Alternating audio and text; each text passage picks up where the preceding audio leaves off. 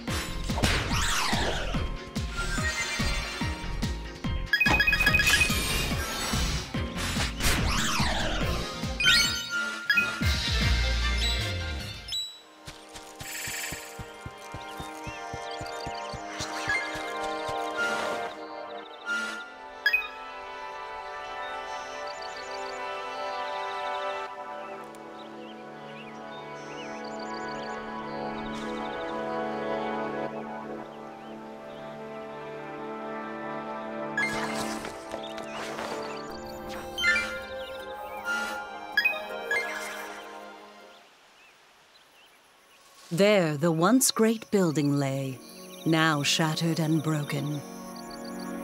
Was this holy place truly once home to the gods themselves? Even in ruinous state, it bore an air of solemn splendor. Today, it is known as the Acheiropoietos Cathedral, an allusion to the tradition that man was never its architect.